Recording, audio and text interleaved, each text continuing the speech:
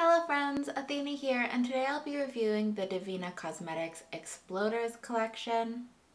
You may have seen these as part of a haul a while back, so I thought I'd review them for you today. This is a bundle of seven eyeshadows. It retails for $56 on Devinah's website.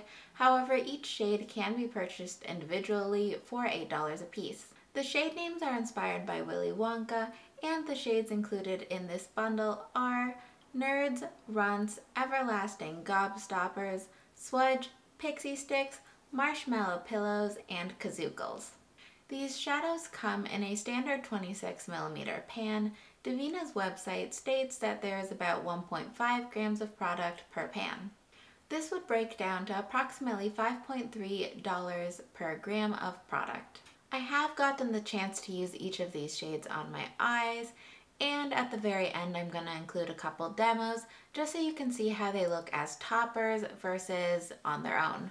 I thought I would break these out for spring because pastel glitters give me spring vibes and the hope for warmer weather.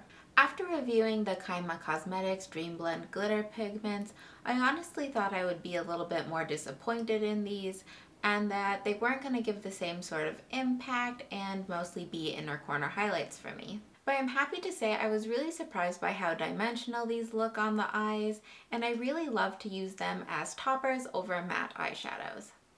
I do wish they were just a teeny bit more strongly pigmented on their own, but what was I expecting from pastels? These are the really beautiful Devinah Cosmetics quality. However, with the Aurora Flare collection, when you picked it up on a brush, it was smooth, and when you applied it to the eye, it was also smooth. These, however, have a little bit of the chunky texture when you pick them up on a brush that the Kyma Cosmetics Dream Blend glitter pigments did. With these, once you apply them to the eye, they really smooth out. The sort of base pigmentation to them isn't really noticeable. What makes the greatest impact on the eye is the duochrome reflect within each of the shades. Devinah's website suggests using a glitter glue with these. I would as well. Unless you set down a layer of setting powder before applying these, you are more than likely going to get a little bit of glitter fallout onto your face. I don't really mind, it makes me feel magical, but if it bothers you, I would recommend setting down a layer of powder. I like applying these with my finger or with a dense flat shader.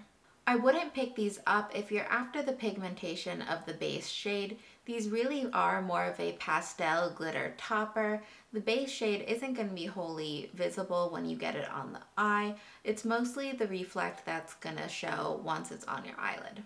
In terms of shade selection, I would really love to see a yellow, a orange, and maybe a grassy green added to this collection in this formula. I think that the two pinks and the two purples in this collection are tonally different enough. However, I was really surprised by how similar the blues look in the pan. But once again, it's the reflect within that sets each of these apart. Nerds has a little bit of a gold shimmer running throughout. Everlasting Gobstopper has more of a green reflect. And Swudge has a bluish purple sparkle throughout. You'll see me apply all three in a demonstration towards the end. However, for right now, I'll pop up a picture just to show you how different they look on the eye. Now we're going to take a look at some swatches. I'm going to finger swatch on bare skin. However, the brush swatches will be done on glitter glue because I feel like these really do need a tacky base.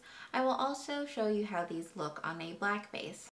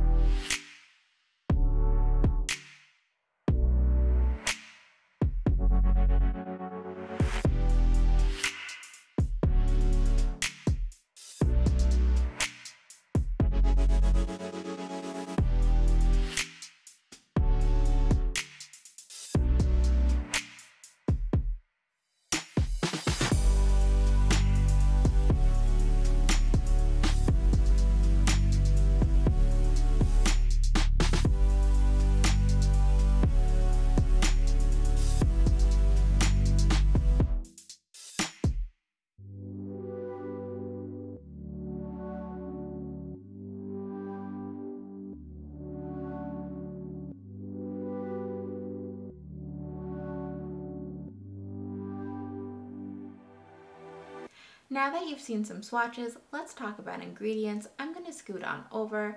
Afterwards, we're going to finish up with some on-eye demonstrations. These are a vegan formula with relatively simple ingredients. Mica is the base, which is super common and really great for layering colorants and pearl effect pigments on top of. Next we have titanium dioxide as a bulking agent.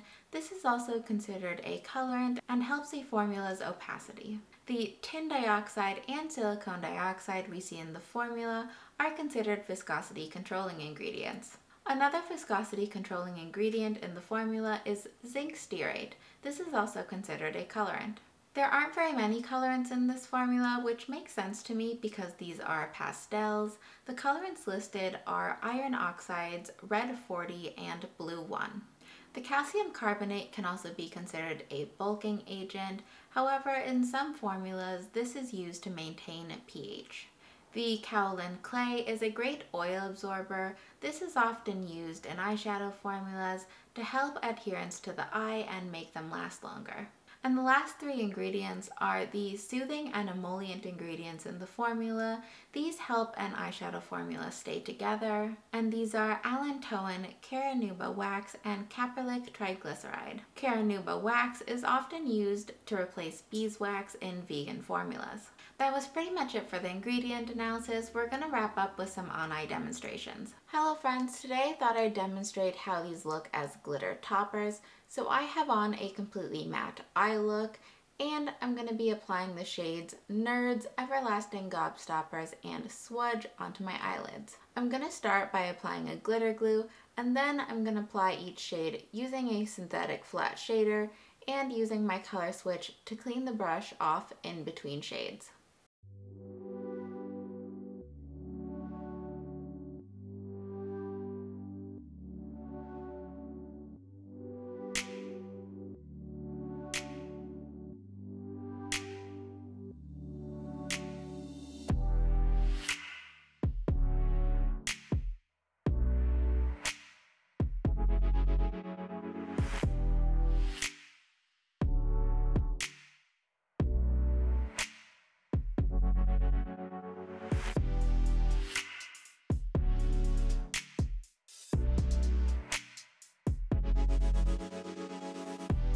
Here we have the side with all three applied and this is the blank side so you can have a reference.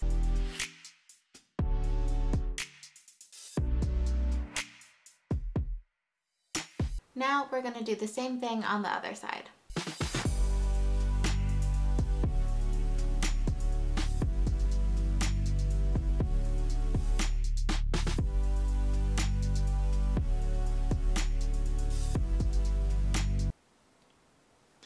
Hello friends! Today I wanted to show you how these look on their own. So I have all my matte crease work already set up and my eye primer applied. Today I'll be showing you the shades Pixie Sticks and Kazookles. I'm going to be applying a glitter glue and then using a flat shader to apply the eyeshadows, cleaning my brush off on a color switch between shades.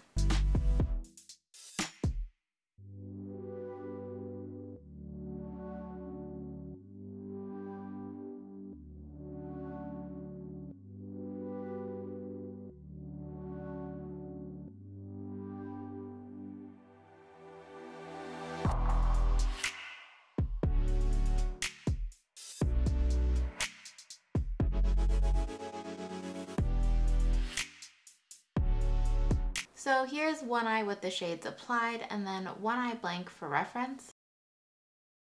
And I'm just going to be applying the same two shades to the other side.